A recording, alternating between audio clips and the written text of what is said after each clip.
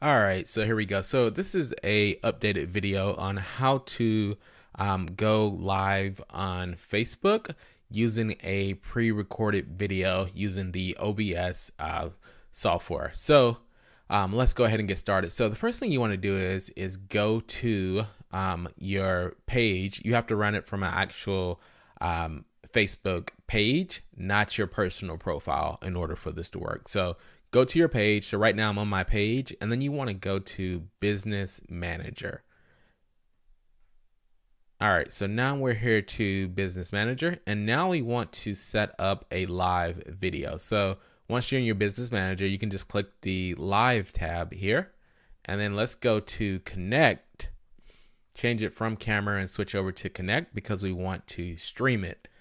All right, so now what I'm going to do is I'm going to stream a video that I've done um, a while back on YouTube is how to grow a list. So I'm going to put that in as the title. And then this right here is just for your notes on the back end. Users don't see this. And then any tags or stuff you want to add here, you can add. So I'm just going to put the same title here. And then I have a small description here as well that I'm going to add below. So you can put whatever you want to put there, but um, that is my title and my description of the video. So this is what the public will see once we go live. Um, definitely want to make sure share it on a page that you manage and then just make sure that it's shared on the right page. So this is the page, this is several pages that I manage, but this is the page that I want to do it on my Lewis Pike personal page. Okay, so now we want to hold that for now and I'm going to pull up OBS now uh, because we want to come here. So I've already set up some items that I'm going to use to record, but I'm going to walk you guys through the process again of how to do it. So we want to come over here to um, scenes and we want to, I'm going to do a test image and click OK. All right, so now I have the scene set up here and now I have to add a source to it. So um, click the little plus here under source and then let's go down to image. And we want to do create new, the image name doesn't matter. And then to click OK. And then I want to go find this file. So I have a file already of an image I'm going to use on my desktop and I click OK. So images there and let's click OK. So you may have to resize the image. So you can just drag it here and then just grab one of these corners on the red box on the outside and then just kind of play with it and see if that fits. So maybe that's a, take a little bit smaller. There we go. So that's good enough right there. And the image is adjusted. So now what I want to do is you want to um, add the actual video source as well. So let's go back here under scenes and click add again. And then that's fine. You can call it whatever, but I'll just leave it default for now. Uh, well, actually, I'm to call it test video.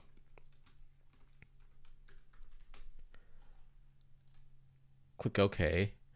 And let me go and add a source. So for the video, you want to go to media source under sources and then click OK, create new, um, name it whatever you want to call it. I'm going to use the default for now and click OK. And now I'm going to go locate the video file that I have already that's on my local machine. So click OK, click open, and then let's click OK, and then the video is there. So you're gonna have to adjust the video size as well. So just take the corner and then just make sure that it fits there in the box. And now we're good. The video is good to go. So I have my test image and then I have my test video.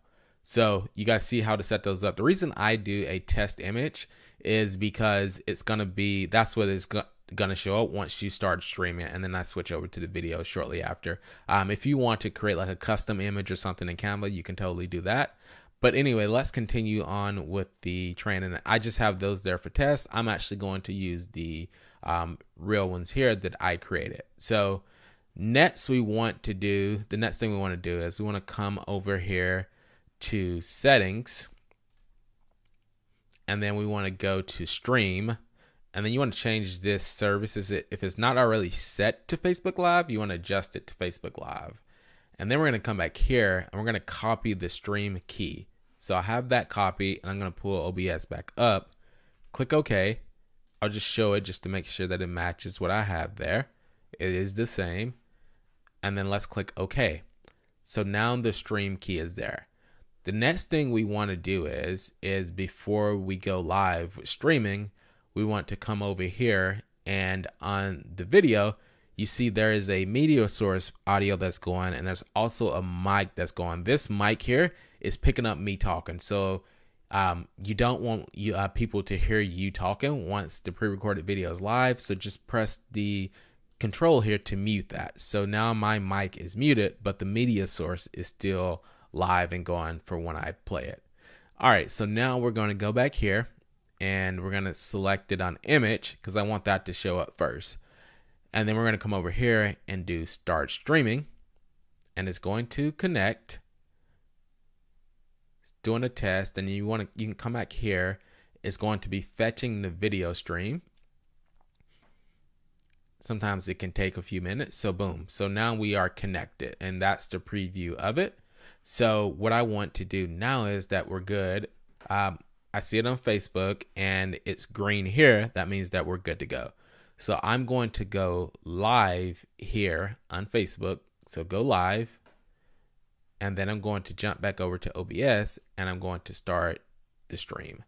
So again, they can't hear me because I've muted the audio, but the video has gone live and it's now playing um, and people can join in and watch this video live because it's live on my page. So there we go. The live video is there. And that is essentially how you record, uh, actually stream a pre-recorded video live on your Facebook page.